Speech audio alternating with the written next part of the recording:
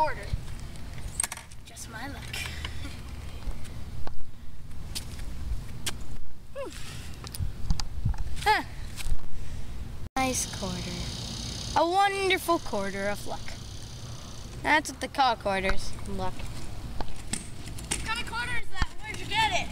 Kentucky, and I found it right there. Upside down or not? Upside down. What did you, what did you do that for? It's a quarter. Uh, it's bad luck. Didn't you read about the kid on the news who died because he picked a, up a upside down buck? What? But you didn't. You never heard about that? What's wrong with you? I don't watch the news. I read it in the newspaper. Let's get to the point. If you pick up an upside down quarter, you fall off the border, meaning bad luck eventually. That's right. If you pick up an upside down quarter, it's bad luck. What? Who are you talking to? And nobody. Don't say I warned you. Adios, amigo. This is Spanish America. Eh, this corn is worth a lot. It's made in Kentucky. oh, uh, I don't have any bad. Lolo. Hold ya. Happy wondering how that.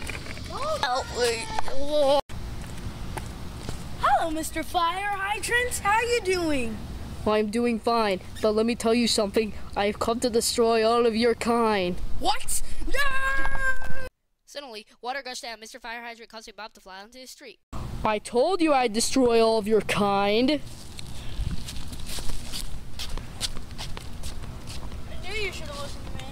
Now look at you. Next thing you know, you get a motorcycle to the face. I still believe there is no such thing as bad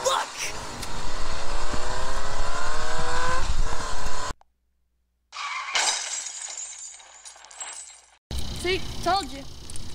You ended up just like the guy who picked up the upside down buck.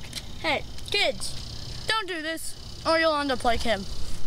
And one last thing to say. Amigos, this is Spanish America signing us. Obrigado!